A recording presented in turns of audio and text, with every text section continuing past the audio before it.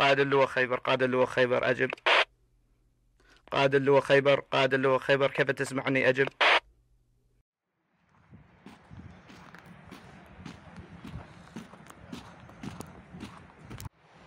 Ļoti interesanti. Kas šodien šeit notiek?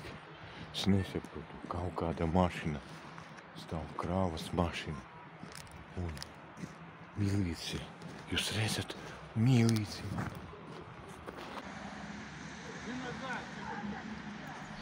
415 база, ответьте.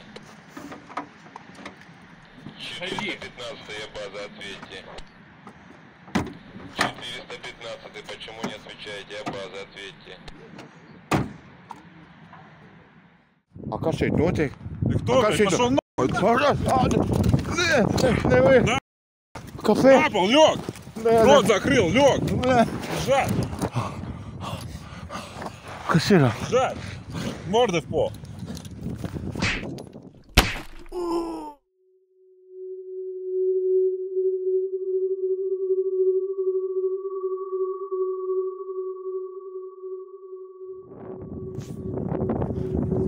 Манвиша, манвиша. Все, все. Жестко, блядь. Да, что сказал? Блядь.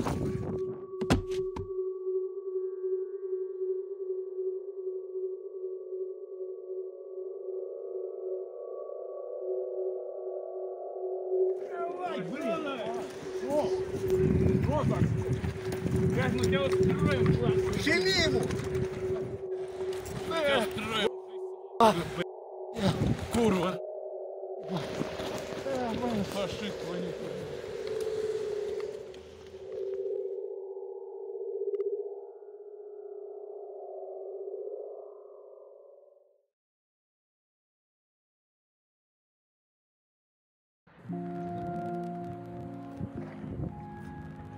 Labdien, dāmas un kungi! Šodien mēs filmējam par Amons ā, 1991. gadā presu namā ieņemšanā. Un, un es gribu šodien iepazīstināt ar mūsu konsultantu Aivaru Aboliņu. Un lūdzu, Aivara kungs, pastāstīt, ko šeit šodien vispār notiek. Tiek filmēta Kairieša filma Janvāris, kurā uh, attēlota tiek ainā preses nama ieņemšana. Omana, omana kaujinieki ieņem preses namu. Epizode ļoti vienkārša. Puisis grib viņus nofilmēt, un tad piebrauc omaniešu mašīnā, un viņš dabū riktīgi ar laidi pa zobiem.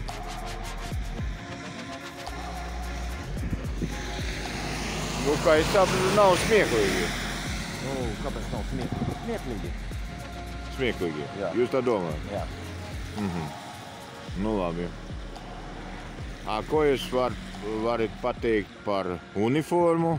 Uniformu tika sagatavota mm, Redut, uh, uh, Redut uh, in Cinema kompānija. uh, Vlad Dombrovskis, Latviešu kompānija. latviešu kompānija. Uh, ļoti izskatīgi, iespaidīgi. Paldies, Ladislav.